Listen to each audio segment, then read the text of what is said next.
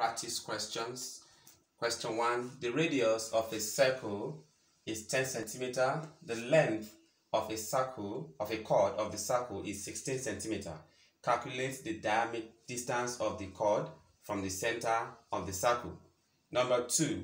The distance of a chord of a circle of radius 5 centimeter from the center of the circle is 4 centimeter. Calculate the length of the chord. Number 3. The isosceles triangle ABC has its vertices on a circle.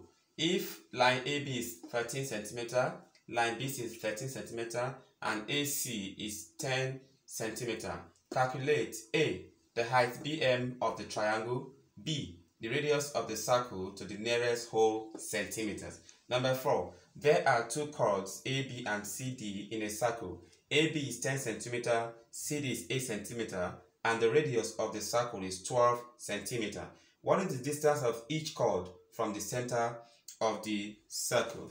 Now, if you have questions from me, personal questions, you check my, you send me to my email account, albertova2020 at gmail.com. And please, you can go to the YouTube platform and make your comments there. And you click on the subscribe button to subscribe. Thank you very much. See you next class.